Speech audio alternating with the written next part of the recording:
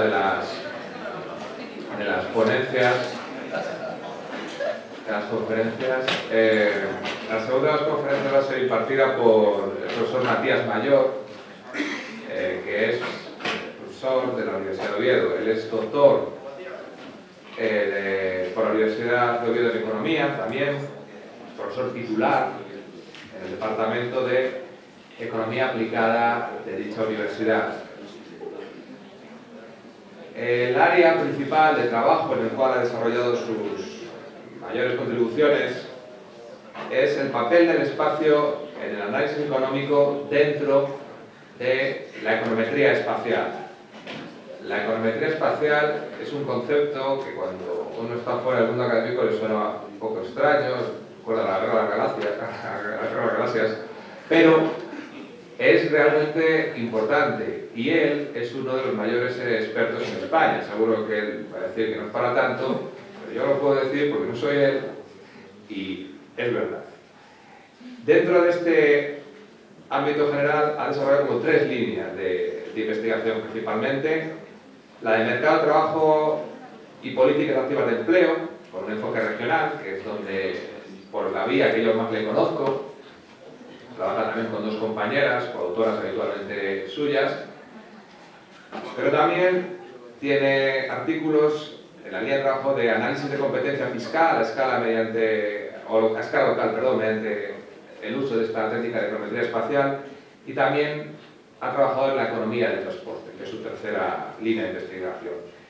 Eh, es un gran académico y sus resultados han sido publicados en las mejores revistas, tiene muchas publicaciones y tiene muchas publicaciones en revistas muy buenas. Por ejemplo, eh, se puede destacar que tiene cinco artículos publicados, no, no solamente en el listado JCR, que ya es difícil colocar un artículo en ese listado, es una, una lista, un índice de, revistas académicas de impacto, los tiene colocados estos cinco en lo que se llama cuartil 1, dentro del Q1, y os puedo asegurar que es muy difícil publicar ahí, es difícil publicar uno, pues él tiene cinco ahí, tiene muchos.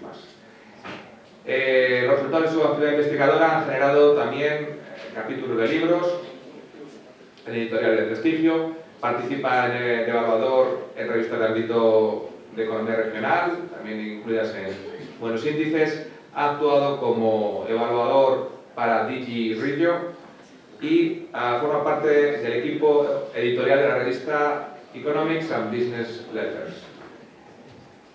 Ha participado en cinco proyectos de financiación, eh, claro, financiados por el Ministerio de Economía e Innovación en los últimos años y como una acción complementaria que permitió organizar un workshop, el Fourth Seminar Jim Paeli, que no sé si es la pronunciación correcta, Jam gracias, en la Universidad de Oviedo.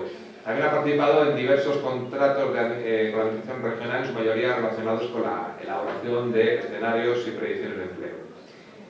Forma parte, ahora voy a hablar un poquito de su trayectoria docente, del claustro de profesores del Máster Interuniversitario en Instrumentos de Análisis Económico entre las universidades de Cantabria, Oviedo y el País Vasco, con mención de calidad.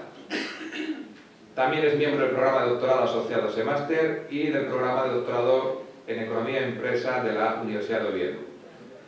Como reflejo de su interna- internacionalización de su actividad docente, se puede mencionar que ha participado como profesor invitado en el máster Resource Economics and Sustainable Development, eh, Accessibility Measures and Regional Labour Markets, en la Universidad de Bolonia. En los cursos 2015-2016, 2016-2017 y en el ámbito de la gestión académica, para cerrar su amplio currículum, que como veis está en todos los campos, investigación, docencia, también en cargos de gestión. Aquí podemos destacar que ha sido primero secretario y luego subdirector de departamento del Departamento de Economía Aplicada, diríamos más, ayer nos comunicó en la cena que es el director ya eh, del dicho departamento. También había desempeñado previamente el, el puesto de vicedecano en la Facultad de Economía y Empresa durante cuatro años. Bueno, como comprobaréis, es un hombre eh, súper cualificado en todas las ramas de la universidad que podemos considerar. Os dejo con Matías, que nos va a presentar una conferencia que lleva por título La resiliencia de las regiones europeas tras la gran recesión.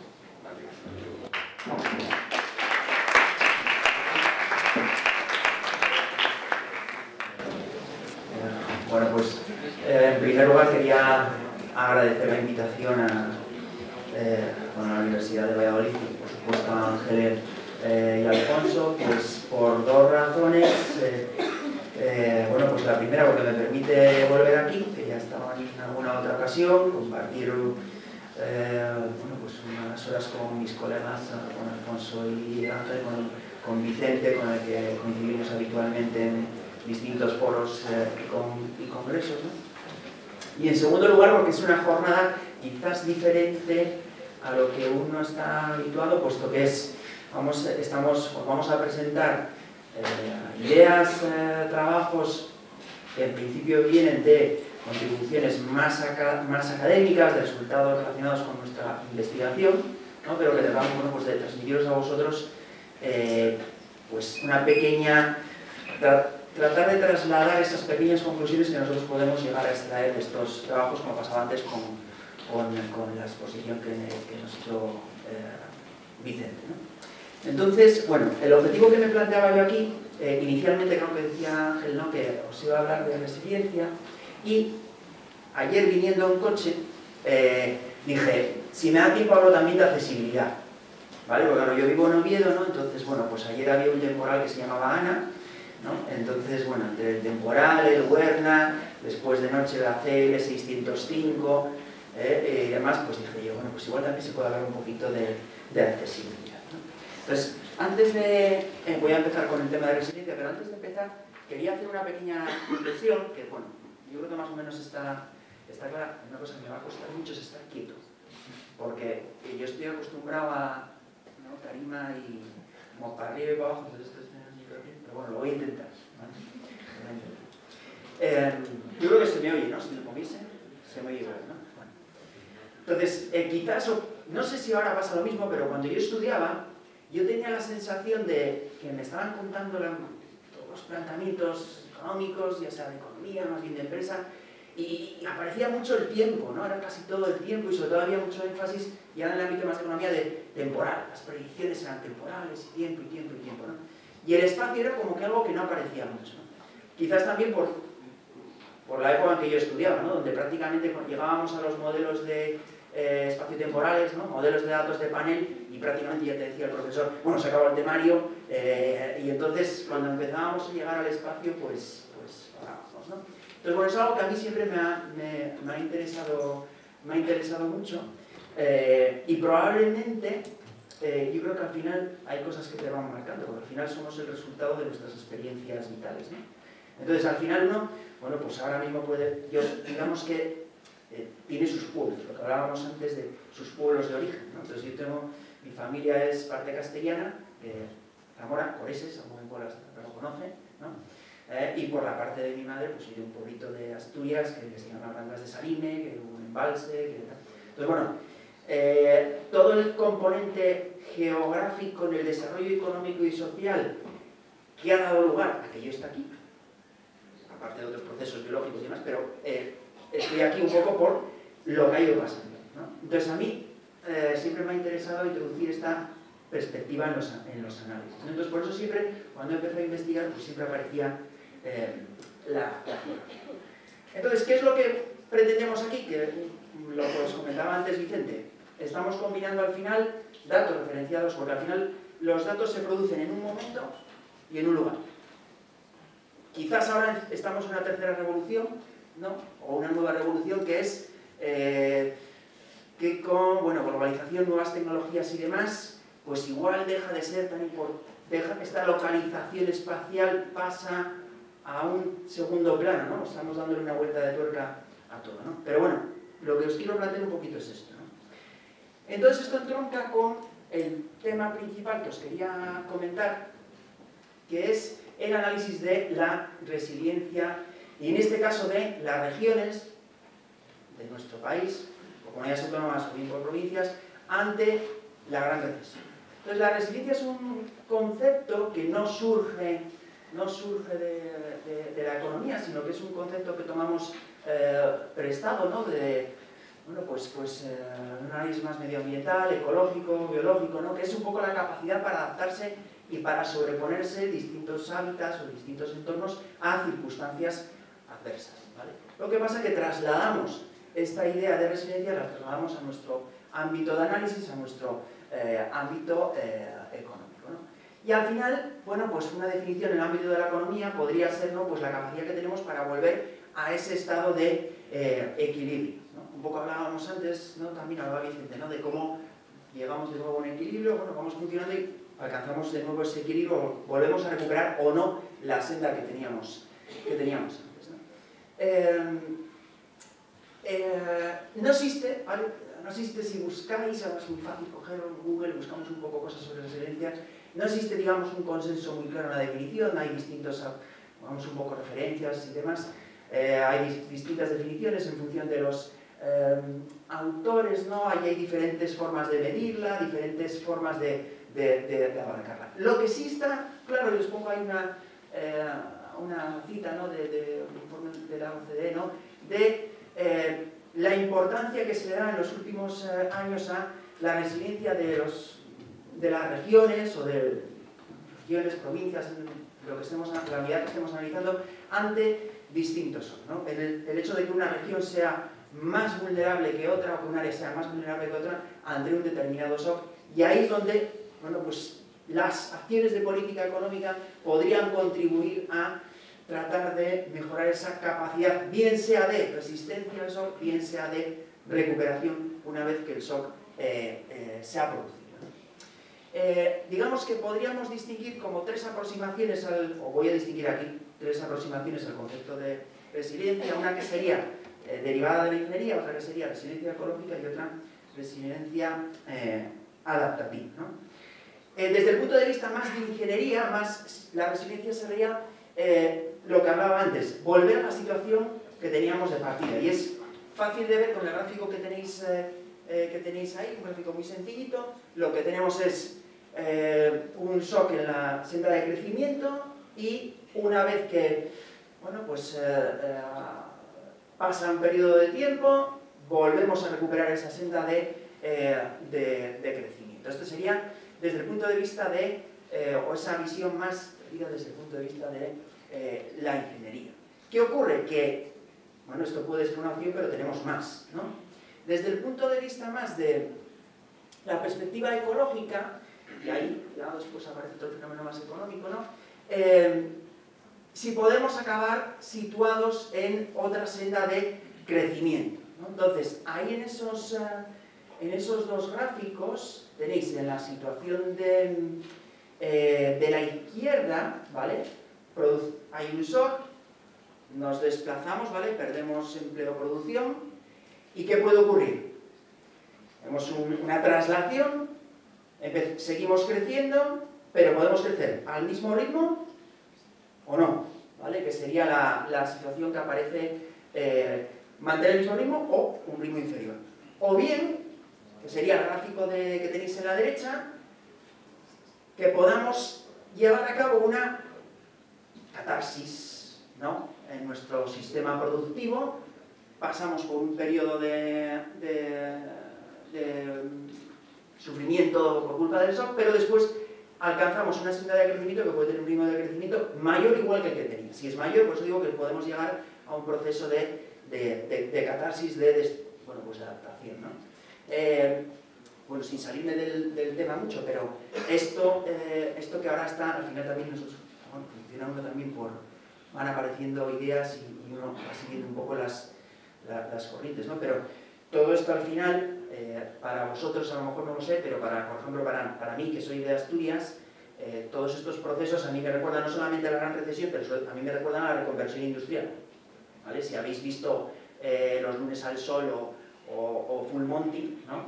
el otro día lo preguntaba en Colonia en clase, pregunté cuándo había, había, visto Full Monty, y solamente lo había visto dos personas. Yo, soy viejo ya, pero... Pero bueno, los lunes al sol, que es la típica ¿no? de, la reconversión industrial y demás, ¿no? Bueno, bueno, pues cómo puede aprovechar o no una región, ¿vale? Entonces, por ejemplo, Asturias, eh, ahora que no estoy allí, Eh, Asturias, por ejemplo, pues eh, podría ser un ejemplo de no haber aprovechado las oportunidades que en su momento tuvo, porque recibió muchos fondos europeos, recibió muchas ayudas, algunas cosas se hicieron bien, pero otras no se han hecho tan bien, ¿no? porque hubo una adaptación de todo lo que es la, la estructura productiva eh, y, como un ejemplo también ahora, que es eh, me, surgía hablando Vicente, es en Asturias, si se nos enfada eh, el señor Vital, ¿no? Vital es el dueño de un Vital, si nosotros allí decimos si se enfada el indio y se va, pues no sé qué vamos a hacer, ¿no? porque tenemos la industria, la industria ha, reducido su peso, pero lo que es la parte del acero está muy vinculada a lo que es las industrias auxiliares y demás. Entonces, bueno, todo esto, ese proceso de reconversión que, por ejemplo, aquí en Castilla, pues habrá pasado también eh, con toda la producción agraria, que ha pasado de ser más mecanizada y demás, ¿no? Pues todos esos en el fenómeno, probablemente alguno habéis estudiado algo de esto, ¿no? Cuando hablábamos de histéresis, ¿no? Que es cuando tenemos un proceso de estos, tenemos un shock y no somos capaces, acaba produciéndose una, eh, bueno, pues una traslación a las tasas de desempleo o una reducción a las tasas de empleo que continúa y permanece en el tiempo.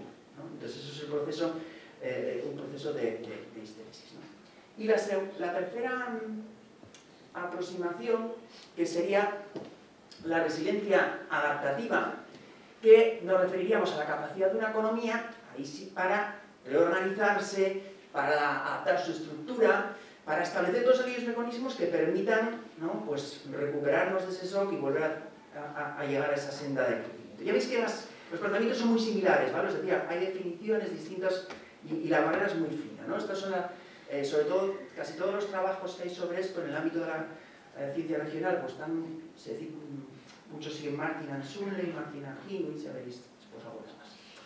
Eh, podemos distinguir eh, cuatro fases, o la mayoría de los autores distinguen cuatro fases, que serían resistencia, recuperación, reorientación y renovación. En todo esto, ¿qué interviene? Interviene qué estructura económica tenemos, cuánto de competitivos son, somos, exportar, por ejemplo, exportamos o importamos, o, o importamos, ¿no? necesitamos desarrollar nuevas iniciativas en ese sentido, sistema de innovación, qué capacidad tiene nuestra, eh, nuestro capital humano, nuestra fuerza de trabajo, cultura emprendedora, después me voy a centrar en este punto, en el tema de la cultura emprendedora, y por supuesto el papel de nuestras instituciones y de nuestra calidad institucional. Todo esto van a ser factores que pueden estar condicionando la mayor o menor resiliencia de eh, las regiones. Bien. Eh, bueno, aquí tenéis un esquema que resumiría un poco lo que lo que, lo que se estaba comentando, empezando con, bueno, tenemos una senda de crecimiento regional antes del shock, cómo estamos dispuestos o no ante el shock, la frase que os ponía ahí del informe de la OCDE es, vamos a intentar que aquellas regiones que sabemos que van a tener problemas, pues tengan los recursos para afrontar esos shock, cómo reaccionamos, cómo es de profunda la, la, crisis, ¿vale? hasta dónde llega y después cómo podemos, eh, cómo, nos, cómo nos recuperamos, cómo salimos de eso. ¿no? Entonces ahí hay algunas de las cosas que ya ya he comentado. ¿no? Hay elementos que son que vienen dados, o sea que es muy difícil, lo, la estructura que tenemos la tenemos, entonces tenemos que, vamos a trabajar con eso, ¿no? Entonces como, eh, yo soy muy futbolero, ¿no? no sé si soy futbolero o no, pero yo soy muy futbolero, entonces uno, la frase está de, yo tengo la plantilla que mandaba, ¿no? Entonces uno cuando llega al SOC, pues tiene lo que tiene, entonces ya no vale con la, eh, la herencia, ¿no? Lo que se llama. Tenemos que trabajar con eso y ahí funciona, bueno, pues la estructura sectorial, la competitividad, el perfil tecnológico, lo que sería más, dar, más, flexibilidad. Bueno, pues a ver qué podríamos hacer en ese, otro conjunto de, indicadores. Bien. Eh, resiliencia y emprendimiento. Entonces, me paro aquí porque ya veréis después... Eh, ¿Cómo voy a decir esto? Uno de los elementos que eh, tanto en la literatura académica como en el ámbito más eh, de la acción política ahora mismo está en boga, pues es el papel del emprendimiento. ¿no? De hecho, tengo un colega que, aprovecho para hacer un poco de publicidad, eh, que acaba de sacar un libro, estamos en época de regalos y demás, que se llama La, burbuja emprendedora, ¿vale? Que, y es, porque es un emprendedor que ha tenido procesos de, pues ha tenido muchas experiencias de y muy interesantes sobre esto. Entonces, el, emprendimiento surge como una alternativa, no sé si como una alternativa, porque yo creo que no, es más bien un complemento a la capacidad que tienen las regiones, tanto para resistir como para después coger y, recuperar el, ritmo. ¿vale? Si bien es verdad que eh, los últimos estudios lo que nos están diciendo es que eh, no hay, digamos, y volvemos al papel de la intervención política o pública, ¿no? sabéis que ahora mismo existen bastantes eh, medidas para favorecer la incorporación de, o la, pasar a, fomentar a los emprendedores, ¿no? Sabéis, tarifa plana y demás. Entonces, los estudios lo que están poniendo de manifiesto es que ese papel del emprendedor, como, bien sea como garante de la resistencia, bien sea como nuevo impulsor de una nueva senda de crecimiento, está relacionado no tanto a esa intervención pública que se puede hacer ahora mismo, sino ligada a una cultura emprendedora preexistente en esas regiones. Con lo cual, los factores que hay históricos en muchas regiones son realmente más determinantes a la hora de explicar el funcionamiento, digamos, de, o la contribución del emprendimiento a la hora de explicar la capacidad de resistencia o recuperación después de, las, de las regiones. Em, entonces, en lo que os quiero presentar entonces, son una serie de resultados donde lo que hacemos es analizar inicialmente, bueno, se me ha olvidado eh, el trabajo es dos cosas. El trabajo este que estoy presentando aquí, por supuesto, es en colaboración con mis dos compañeras, Moña Cueto y Patricia Suárez. Soy yo el que lo estoy aquí eh, contando, por tanto, las cosas que estén mal explicadas o que no haya transmitido bien son solo mi culpa, ¿eh? pero el trabajo es... Y segundo, además, ese trabajo surge, o el interés nuestro surge, por un proyecto de investigación donde eh, está nuestro compañero Vicente Royuela, de la Universidad de Barcelona, donde caímos en estos temas de eh, resiliencia y empezamos a trabajar sobre esto. Y cuando estaba hablando en la introducción, pues se me ha olvidado comentarlo. Paréntesis, sí.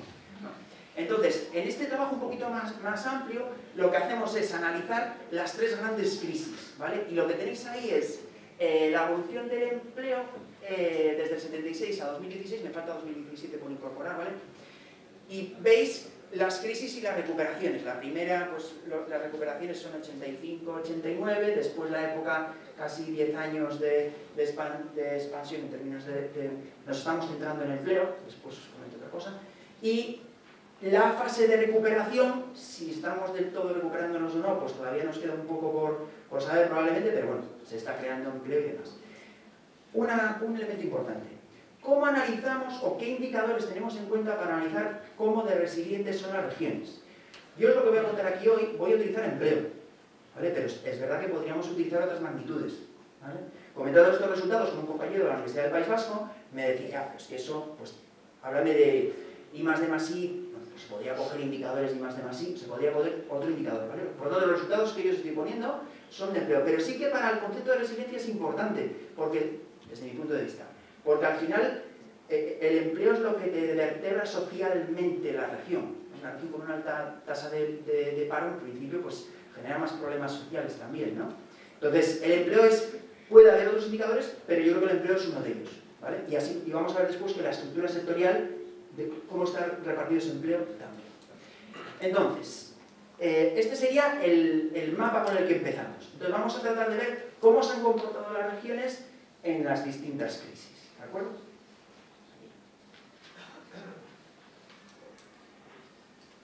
Entonces, primer punto, segundo punto de partida. ¿Nos hemos comportado igual? No.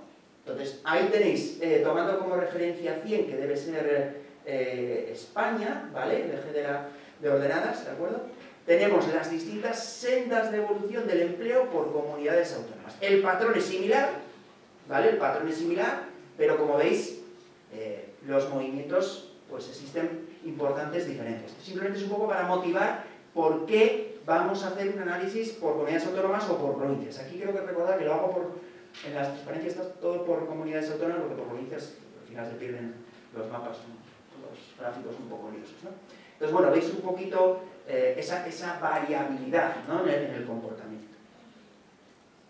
¿Qué indicadores vamos a utilizar? Bueno, pues vamos a utilizar unos indicadores que son muy sencillos, eh, siguiendo a Markin y Fingleton, donde vamos a distinguir eh, un indicador que sería de resistencia y otro indicador que es de capacidad de recuperación. La palabra esa recoverability es un poco peculiar, ¿vale? Pero es como capacidad de, recuperación. Y el indicador, si, os fijáis en la, en la, diapositiva, ¿vale? El indicador es muy sencillo, porque lo que hacemos es... Eh, tenemos que identificar, eso sí, cuál es el periodo de, de crisis y el periodo de recuperación. Pero tenemos la variación en el empleo, el primer indicador, resistencia. La variación en el empleo el periodo de crisis y lo tenemos que comparar con un contrafactual o con lo que sería el crecimiento esperado para saber cuánto de bien me, he comportado o cuánto de mal me, he comportado. ¿De acuerdo? Y lo mismo pasa con el periodo de, eh, de, recuperación, capacidad de recuperación. Tenemos el crecimiento del empleo en ese periodo de recuperación y lo comparamos con lo que sería el comportamiento esperado o algo que tengamos como eh, referencia. Como veis el indicador es, es, muy sencillo. ¿vale? Eh, ¿Cuál es el tema clave aquí? Eh, desde mi punto de vista, la construcción del contrafactual. Generalmente, ¿qué es lo que se suele hacer? Y, es lo que va a aparecer en la mayoría de los gráficos que, que tenemos ahí. Tomamos como referencia el comportamiento de la nación, nuestra España, nación, nuestras discusiones, ¿vale? eso. Las 17 comunidades autónomas las juntamos, ¿no? Y entonces tenemos, ese es el referente. Pero veréis que después voy a romper un poco el referente, eh, un poco en ese sentido porque, mm, a ver, eh, hay, me estoy adelantando, pero para, para que veáis un poco eh, por dónde voy. Hay una, hay una, Luis Carlos, ¿no? La ley de, ¿no? la primera ley de la geografía, ¿no? Dice que todo está relacionado con todo, pero lo que está cerca más, ¿no? resumiendo, ¿no? la primera ley de geografía, doble, 79. Todo está relacionado con todo, pero lo que tenemos más cerquita, es lo que aplica Vicente cuando hablaba de las áreas funcionales. ¿no? Entonces, claro, eh, después veréis que voy a destrozar un poco esto, porque, vale, el contrafactual es España, pero, ostras, ¿y para Lugo el contrafactual es España? ¿O para Asturias el contrafactual es España? O sea, ¿me tengo que comparar? Igual sí, igual no, ¿vale? Trasladando a términos futbolísticos, para Atlético Madrid, ¿cuál es el contrafactual? El Real Madrid o el Barcelona, ¿no? Para el Sporting, el Oviedo, no sé, vamos buscando una comparación que sea fair, ¿no? Que sea... Entonces, bueno, esto es discutible, ¿vale? Hay un poco de, de dudas sobre el propio criterio. Bien, sigo entonces. Con estos dos criterios que son muy sencillos de, de entender, ¿lo que consigo? Si os dais cuenta, Claro, estos criterios están centrados en cero.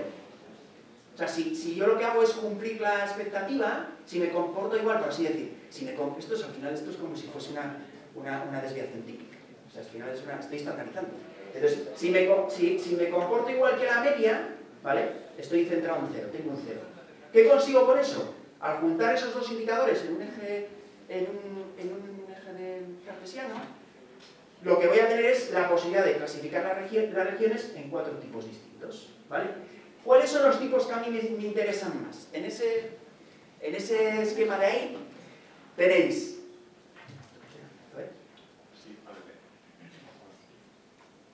Sí. Sí, sí. Entonces, en ese esquema de, que tenéis en la, en la diapositiva, lo que tenéis en, verde sería cuando tenemos indicadores positivos tanto de resistencia como de capacidad de recuperación. Sería la situación óptima. ¿Cuál sería la situación eh, más complicada? Cuando tenemos valores negativos tanto para el indicador de resistencia como para el indicador de recuperación. Como vamos a ver después, nos vamos a encontrar también muchas situaciones eh, intermedias. Eh, ¿Qué creemos que puede ser interesante? no solamente porque lo digamos nosotros, sino porque lo dicen las organizaciones internacionales en muchos trabajos previos, que este, este, este pequeño análisis clasificatorio puede servir de utilidad para identificar sectores o ámbitos donde desde el punto de vista del planificador, del político, se puedan hacer cosas. Entonces, lo primero que os voy a presentar es el resultado siguiendo esta clasificación, pero necesito que tengáis en mente un poco cómo se el esquema, ¿vale? La zona de primer cuadrante superior de la derecha serían los mejores resultados, eh, teniendo en cuenta los indicadores que vamos a utilizar, ¿vale? Ojo, siempre. Y la situación peor sería lo que está marcado en rojo. Entonces, ¿cuál es nuestro objetivo? Entonces, nuestro objetivo, tres cosas. Em, por un lado, obtener esa clasificación y vamos a utilizar eh, tanto empleo asalariado como empleo autónomo y vamos a hacerle análisis para, eh, utilizando datos de la encuesta de población activa y datos de registros de la seguridad social, que son datos diferentes, complementarios, ¿vale? Pero arrojan resultados también a veces eh, diferentes y que pueden ser interesantes en su comparación. Segundo, vamos a tratar de identificar eh, los sectores clave detrás del comportamiento regional. Aquí no voy a entrar en mucho detalle, pero os mostraré un poco cómo. ¿vale? Y eh, en tercer lugar, lo que vamos a intentar hacer es asumir que nuestros tres sectores son, en lugar de agricultura, industria y construcción y servicios, pues vamos a trabajar con tres sectores que son el empleo público, el empleo privado y el autoempleo. Y vamos a ver cuál es la contribución en términos de resiliencia de esos tres sectores que me estoy, eh, introduciendo en el, análisis. ¿vale? Este sería el resultado de eh, la primera eh, gran crisis y posterior recuperación. ¿vale? Os pido que os dediquéis, yo creo que se ve ¿no? desde, desde atrás, si encontréis alguna cosa que os llame la atención, ¿no? en el cuadrante en verde aparece Canarias, aparece Baleares, estoy hablando de empleo, encuesta de población activa. ¿vale? Empleo, encuesta de población activa.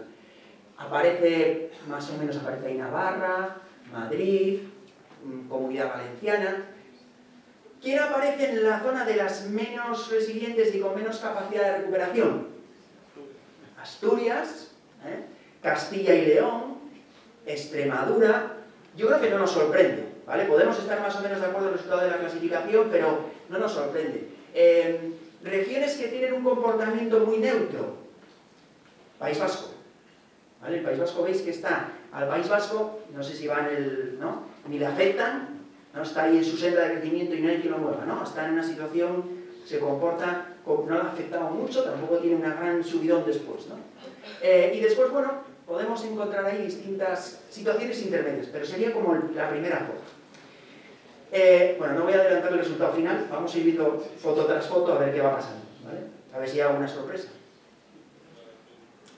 Este sería el gráfico para el siguiente periodo, ¿vale? En 91-94, 94-2007, ¿vale? Ya digo que esto puede ser, pues, voy yo criticando, me voy criticando a mí mismo, ¿vale?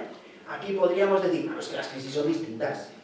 Estás comparando una crisis, eh, eh la crisis del 76 no tiene nada que ver con las razones que motivaron la crisis del 91-94 y las reacciones son distintas y en 91-94 pudimos devaluar y después en la gran recesión no. O sea, todo esto siempre es discutible. Pero mirad un poco los, los gráficos, la fórmula que estoy aplicando es la misma.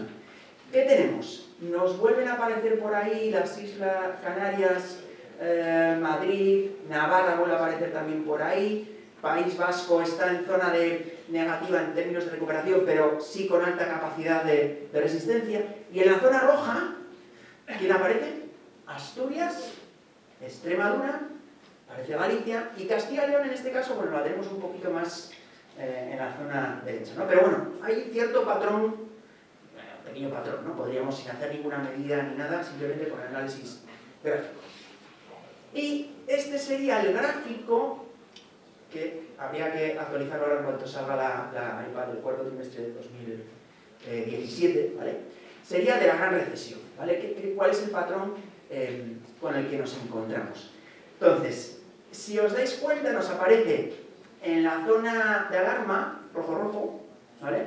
Tenemos a Castilla y León, donde tenemos, eh, digamos, poca capacidad de resistencia y poca capacidad de recuperación, ambos signos eh, negativos. Eh, y en la zona positiva, de nuevo, tenemos ahí nuestra, las islas. A ver, yo creo que todo el mundo lo estáis pensando, la, la ventaja que tiene, ventaja o inconveniente que tienen las islas, es que tienen un empleo muy flexible, o sea, la forma de contratar, porque se basa en el sector servicios, entonces tienen una flexibilidad muy grande. Entonces en el momento que tienen capacidad, tienen capacidad para adaptarse y sobre todo capacidad para el momento que las cosas van bien, ¡pum! Lo estamos viendo ahora con, el turismo. Y si veis, tenemos un gráfico, ese círculo rojo que os he puesto, que aparece Madrid, País Vasco, Navarra, Galicia, que digamos tendríamos capacidad de resistencia, pero no eh, recuperación. ¿vale? Eh, hipótesis. Falta recuperación. O sea, ese 2013-2016 probablemente se está quedando corto. Yo, mi idea es que probablemente algunos de los rojos que yo tengo ahí, con los datos de 2017, se me van a ir a la derecha y algunos, desgraciadamente, acabarán quedando nominados y acabarán cayendo en el... En el cosas que digamos que la recuperación, como os voy a enseñar ahora, todavía le falta un poquito. Entonces, este sería el, mapa que tenemos. Em, a ver, esto cuando lo hemos contado, eh, sobre todo a nivel más local, genera... Pero es que no, es malo, o sea, no es malo. Es bueno saber dónde estamos, es que es fundamental.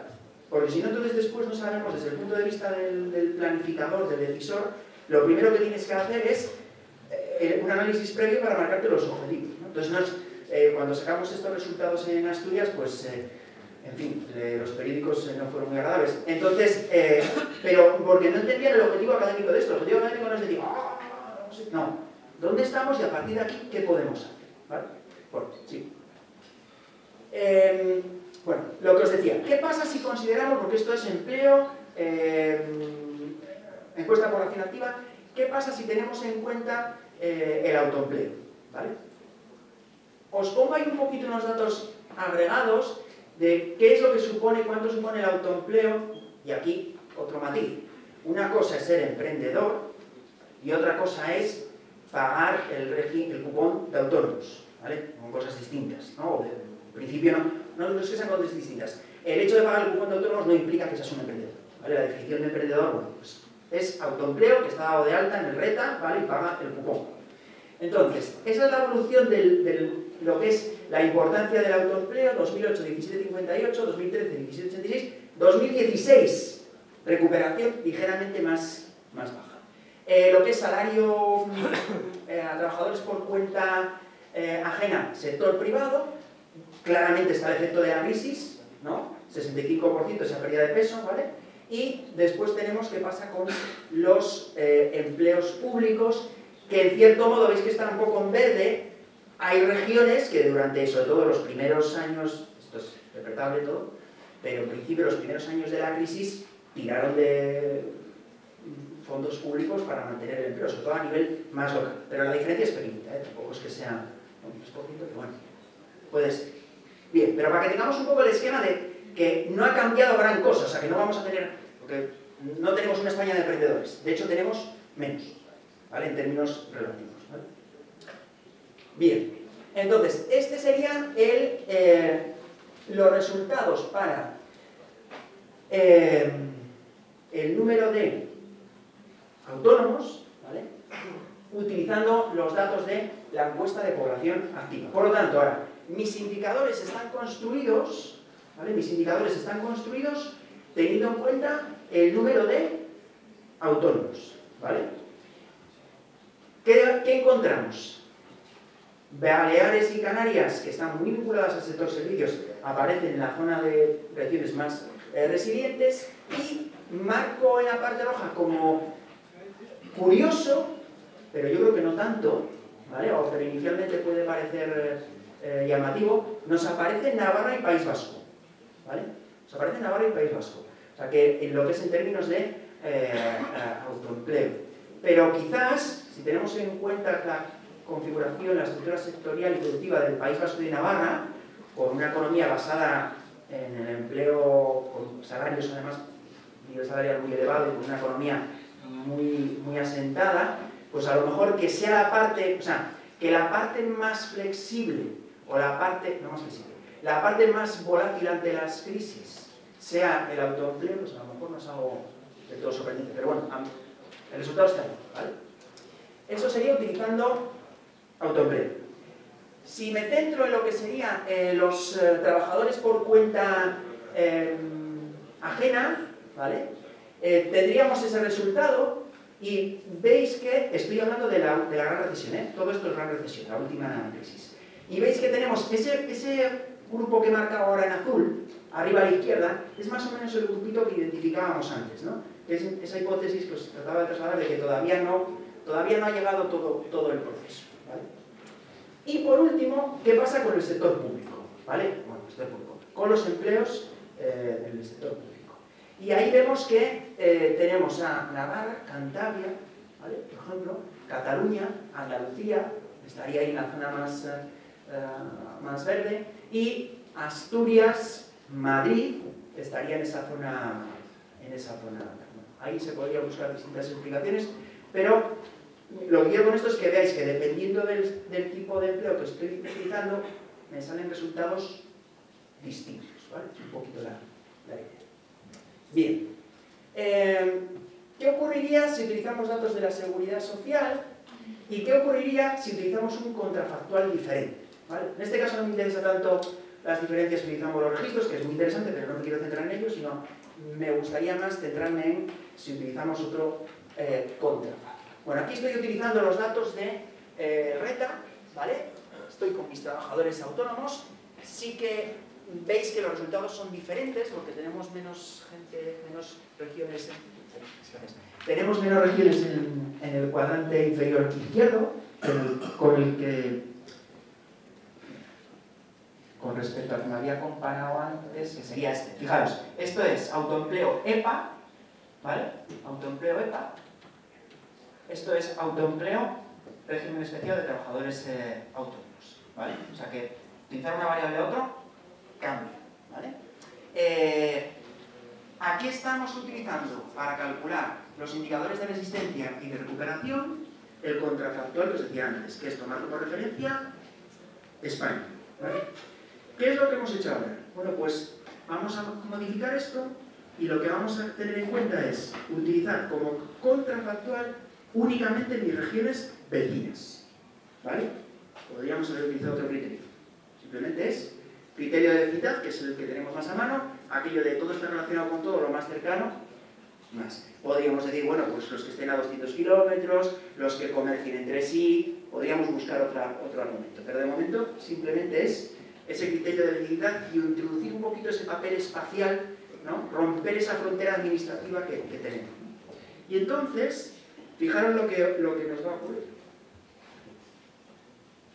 Lo que tengo es, eh, sería, en el gráfico anterior he utilizado la primera fórmula, en este gráfico estoy utilizando la segunda, donde lo que tengo es una tasa de crecimiento modificada espacialmente, por así decirlo. He tenido en cuenta los valores de mis vecinos. Esto, eh, para los que habéis, seguramente algo de series temporales habéis estudiado, aunque sea en introducción a estadística, eh, al final lo que estoy diciendo es que cuando leí series temporales decíamos que el, nivel de renta en T depende de muchas cosas, pero una de las cosas que depende es del nivel de renta en el año anterior, en el año anterior, en el año anterior, teníamos un proceso autorregresivo temporal, ¿vale? Y asociábamos un coeficiente a los valores que teníamos eh, pasados, ¿vale? Pues esto es, más o menos en esencia es lo mismo. Lo que tengo es que, ¿qué ocurre? Claro, en el tiempo es muy fácil porque solamente hay un vecino. En el tiempo solamente tenemos, de momento, salvo que inventen otra cosa, solamente vamos hacia atrás, ¿vale? Bueno, tenemos solamente una línea recta y es muy fácil detectar los vecinos. Claro, en el espacio no. En el espacio vamos a ver configuraciones más complejas y tendremos que asignar una ponderación a cada vecino. ¿Aquí qué está considerado? Pues dependiendo del número de vecinos. Si tengo cuatro vecinos, 0,25 a cada uno.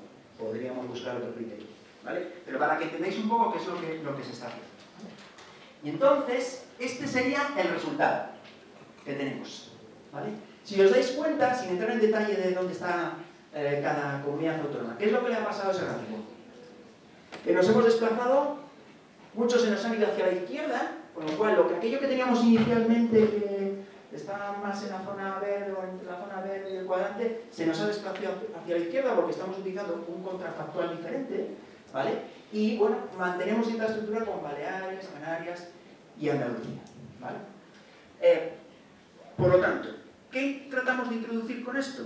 Eh, a la hora de ver cuál es el comportamiento, a la hora de clasificar la resiliencia, la capacidad de resiliencia de las regiones, la definición del contrafactual, sobre todo en un entorno relativamente amplio como puede ser España, que estamos hablando de 40 millones de personas y una el país es grande, ¿no?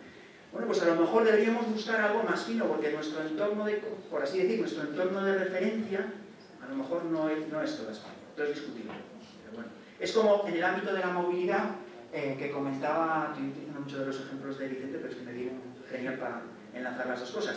Hablaba Vicente antes de la resistencia, ¿no? la multilateral resistance a la, migración y quién, esa probabilidad de migrar dependiendo de si tienes otros focos. ¿no? Entonces, realmente eh, Asturias se tiene que comparar con, tiene que entrar en ese pool la comunidad valenciana.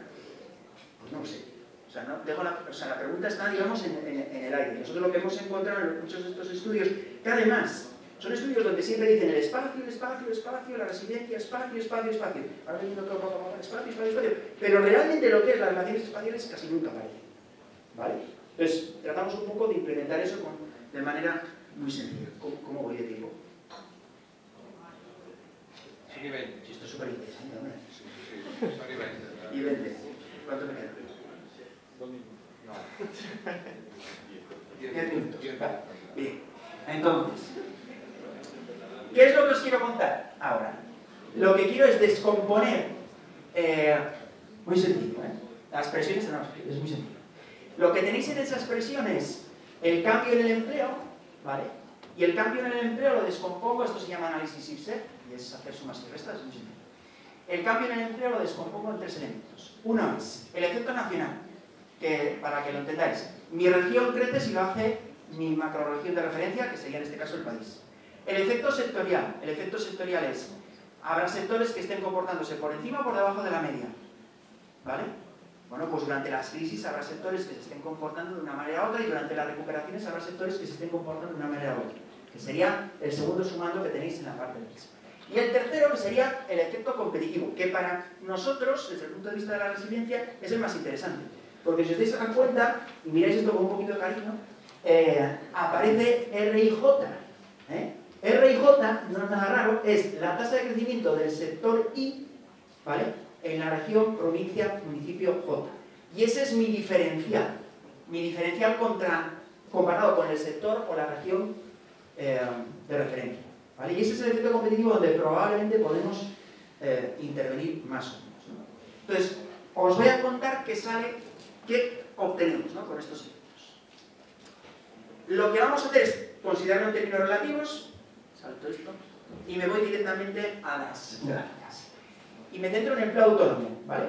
Entonces, esa sería la descomposición del efecto eh, sectorial y del efecto competitivo. Recordar, el efecto competitivo más local, ¿vale? Que probablemente será el que nos aporte algo más diferencial. Y esto es el periodo 2009-2013, por lo tanto, crisis, ¿vale? ¿Qué encontramos en términos de autónomos? ¿Dónde tenemos efectos competitivos positivos y si os dais cuenta sectoriales eh, también? Andalucía, eh, Canarias, Extremadura, Navarra, Islas Baleares, pero sobre todo habría que entrar en los sectores, ¿no? Pero ya os digo ahí que, sobre todo en Andalucía es obvio, Canarias y demás, aparece sector servicios, ¿vale? Muchas iniciativas, y estamos hablando de autoempleo, no, no penséis en gran emprendedor, sino autoempleo, por lo tanto alguien que se queda en paro, por ejemplo, y capitaliza la prestación, y pone un kiosco, ¿vale? O peluquería, o lo que sea, ¿de acuerdo? ¿Qué ocurre en el siguiente mm, periodo? En el periodo de eh, recuperación, que habría que completarlo con este año, que yo creo que sería muy interesante. ¿Quién tiene esa capacidad? ¿Quién, está ¿Quién tiene un efecto competitivo súper potente? En términos, insisto, autoempleo. Comunidad Valenciana, región de Murcia, Andalucía, Islas Baleares, Canarias. Estamos basándonos en sectores, sector servicios, ¿vale? Y aprovechamos esa inercia de la eh, recuperación.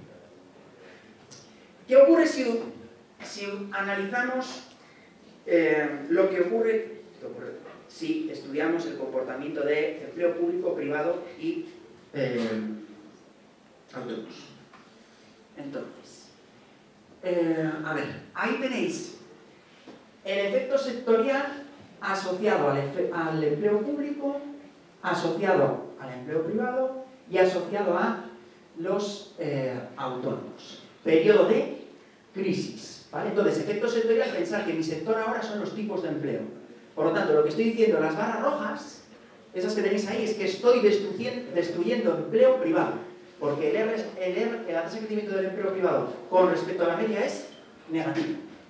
¿Quién está teniendo un comportamiento que en ese sentido daría argumentos a hablar de que el autoempleo puede ser eh, un activo a la hora de mm, aguantar las crisis, ¿vale? Las barras verdes, perdón, el, empleo público es el que está actuando como contra como contraste, ¿vale? ¿Qué pasa si nos vamos al, al siguiente periodo, 13-16, ¿vale? 13-16 seguimos teniendo, que es lo que os decía antes, eh, seguimos teniendo esas barras rojas para el empleo privado. Si hubiésemos alcanzado la recuperación por los datos de 2017, ya anticipo que, que pasa, esas barras rojas se van reduciendo. ¿Por qué? Porque la economía está generando empleo, como estamos viendo en este año. ¿vale? Entonces esas barras rojas se nos van a ir reduciendo en el periodo siguiente. El efecto competitivo, vuelvo a que es lo más interesante, porque es lo más diferencial. Entonces ahí veis que tenemos durante las crisis comportamientos muy diferentes, si veis en la parte izquierda, de la parte derecha. Tanto en lo que sería en el sector público, privado y lo que sería el autoempleo. Pero si os fijáis en el peso, solamente lo que es el tamaño de nuestros rectangulitos, el peso del autoempleo en lo que es el efecto competitivo, ¿vale? Perdón, sí, estoy diciendo bien. El peso del autoempleo no es muy importante, al final es el empleo privado el que te está determinando cómo es la situación. ¿Qué pasa con el efecto competitivo durante la, durante la recuperación? Bueno, pues ahí veis, Andalucía, eh, Valencia, Canarias, Baleares. ¿Dónde tenemos los autónomos? Nuestra barra azul. Tenemos nuestra barra azul.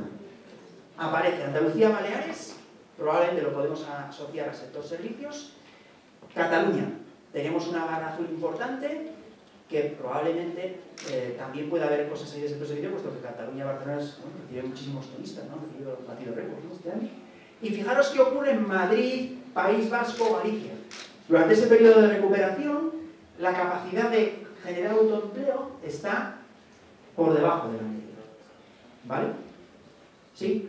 Entonces, con esto un poco lo que os quiero comentar es eh, cómo tenemos que tener en cuenta, digamos, dos cosas. Eh, es interesante ver lo que ha pasado, ¿vale? Es interesante ver dónde ha pasado, y tercero, es interesante ver cómo ha pasado, tanto en la recuperación como en la crisis, para determinar, cuando estamos hablando de políticas de fomento, de emprendimiento, políticas de fomento de otro tipo, por dónde debemos tirar. Evidentemente esto se podría ver con más detalle, ir a sector a sector, pero aquí no lo vamos a ver. Pero simplemente con esto quería eh, mostraros un poquito cómo sería la, clasificación y cómo estaría funcionando nuestra economía eh, a día de hoy. Y con esto lo, dejamos ahí, ¿sí? Bien. Ah, muchas gracias.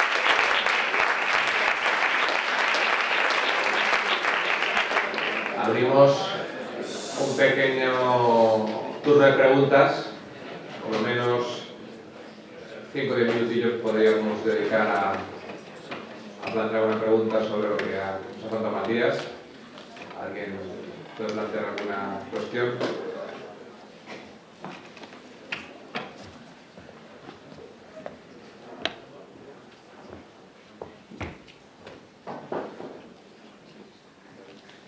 Nadie pregunta nada.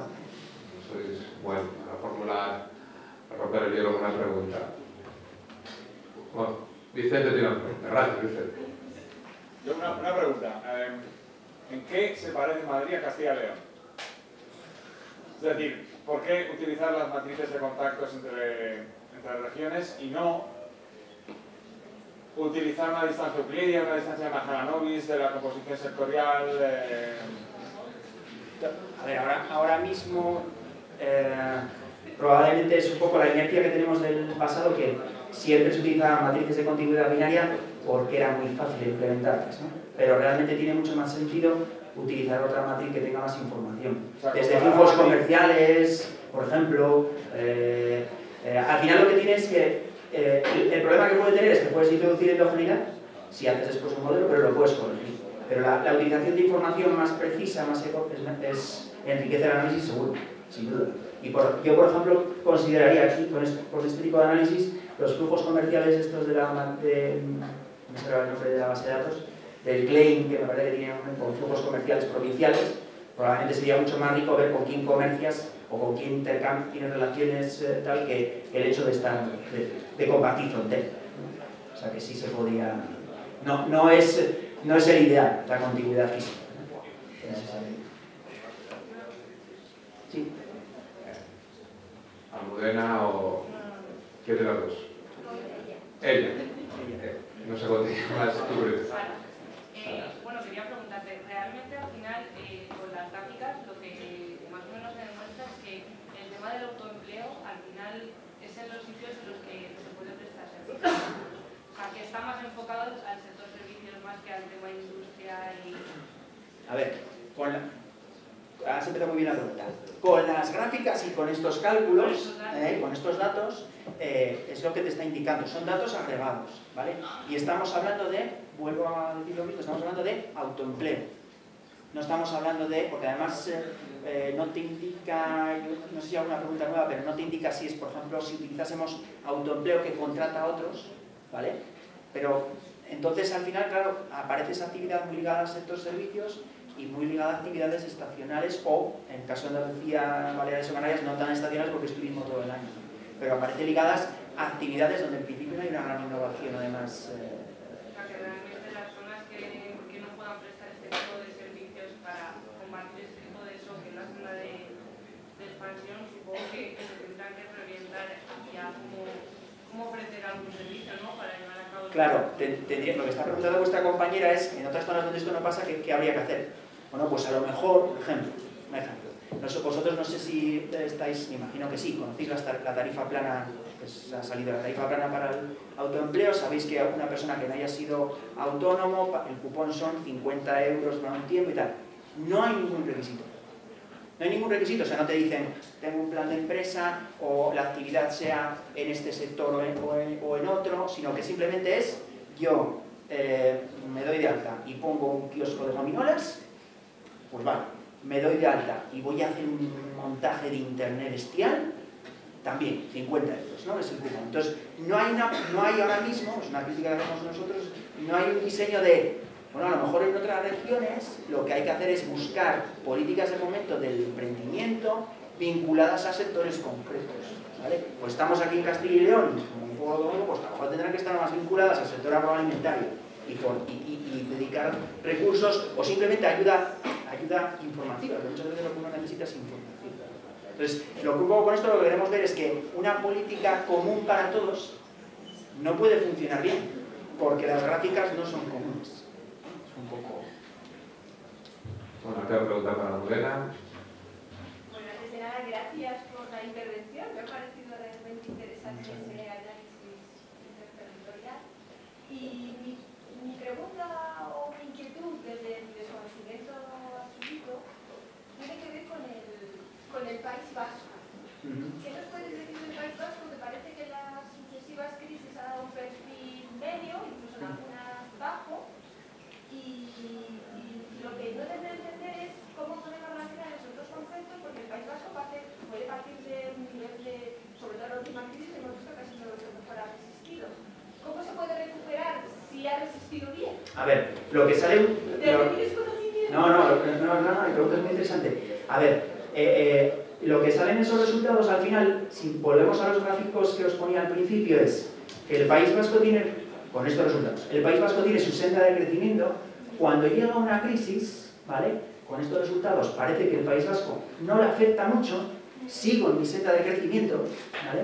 Y cuando me recupero, ¿qué hago? Sigo en mi senda de crecimiento. Entonces, por eso no aparezco en zonas, eh, digamos, ni muy verdes ni muy, rojas, porque estoy, sigo mi ritmo, ¿no? ¿no? No me, de hecho, para ilustrar un poco esto, ahí lo podéis buscar en Google, no me sale ahora, no sé si es la CBS, con un canal de estos americanos, que hace tres o cuatro años, cuando empezó la crisis, eh, yo encontré por ahí que era el milagro, el milagro español, ¿no? Y el milagro español de la gran recesión era el país más cubano, porque decían que era como islas que no les había afectado la, la, en, la, misma medida la, crisis económica. Lo que sí salen cosas raras, o raras, o para mí difíciles de ver, es en términos de lo que es autoempleo. No lo acabo de tener un libro. Pero lo que es en general, lo que se ve es que yo tengo unos fundamentos muy claros y que eh, no me afectan las migraciones de, del exterior. Lo cual está dando mucha información sobre la estructura productiva. Totalmente, totalmente. Claro, o sea, lo que te está diciendo es, eh, eh, bueno, que ese, no, no soy capaz de, mi estructura es tan suficientemente em, estable y al mismo tiempo flexible para no ser afectada la senda de crecimiento durante la crisis y encima para mantener el ritmo de crecimiento tras la crisis. Bueno, pues es al final, y eso explica también los indicadores que tiene el País Vasco a nivel de calidad de vida, salariales, o sea, al final está todo, todo, todo, todo, está relacionado. cosas. Bueno, si no hay más preguntas, vamos a hacer un pequeño receso. Estaba previsto cuarto de hora, pero vamos un poquito retrasados a hacer solamente un descanso de cinco minutos para intentar recuperar el tiempo que llevamos un poquito de retraso. En cinco minutos volvemos.